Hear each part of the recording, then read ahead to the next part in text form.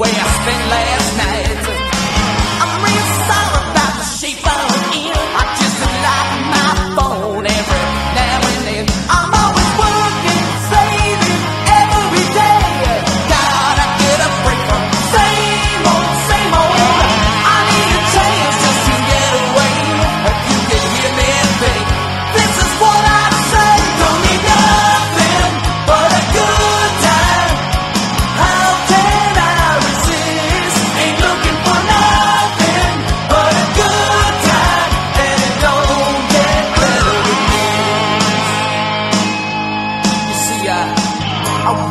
toast to all of us who are breaking our backs every day.